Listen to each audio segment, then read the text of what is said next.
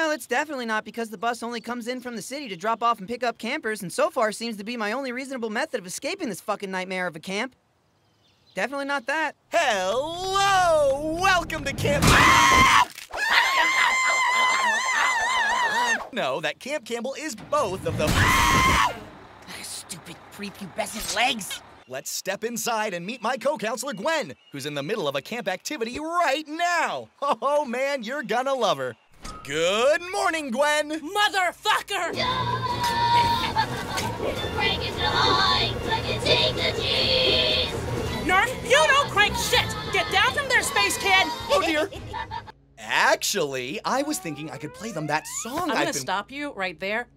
No, I'll get the laser disc. Okay. Well, I'm glad you asked because I have a little song that I can sing. No. If I can just get to that bus before it heads back.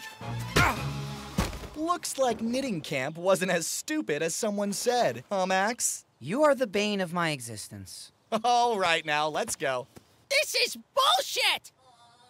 Whoa, check out the balls on New Kid. Where? Hey, David! Yes, Nikki.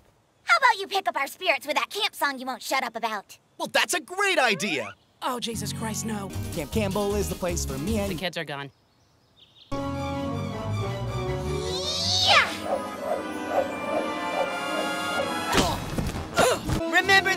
Face, David, because you'll never see it again.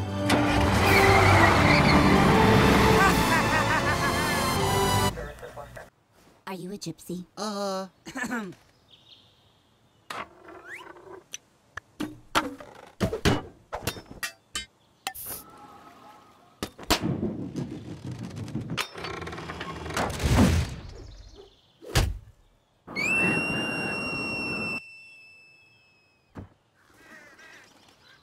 Oh, man.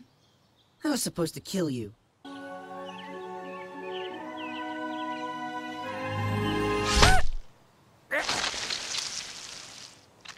Mascot.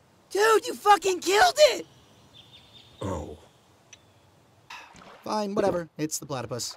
Does this mean we'll be the Camp Campbell Platties? No, I don't think so. What about the pussies? Definitely not. Yeah, I like that. Pussies for life. You guys, no. Pussies, makes the pussies.